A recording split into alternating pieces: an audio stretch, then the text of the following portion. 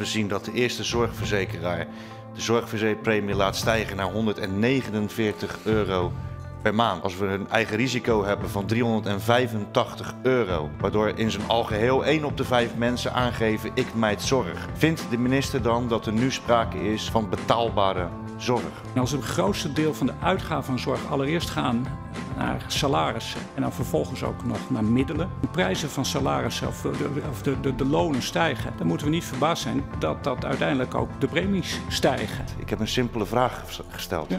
Namelijk vindt de minister met een zorgpremie van 149 euro per maand 1 op de 5 mensen die nu al aangeven de zorg te mijden, of er sprake is van betaalbare zorg. Dus als de minister niet bereid is om hier aan te geven dat hij de zorg nog betaalbaar vindt, Waarom stelt hij dan niet voor om aanvullende maatregelen te nemen nu al om ervoor te zorgen dat het betaalbaar blijft voor mensen? Want mensen kunnen dit niet meer betalen.